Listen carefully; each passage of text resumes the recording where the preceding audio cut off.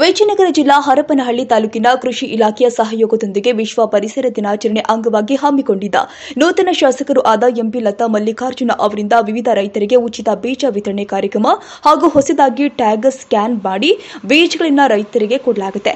ರೈತರಿಗೆ ಅನುಕೂಲವಾಗುವಂತೆ ವಿವಿಧ ಕಂಪನಿ ಬೀಜಗಳನ್ನು ದಾಸ್ತಾನು ಮಾಡಲಾಗಿದೆ.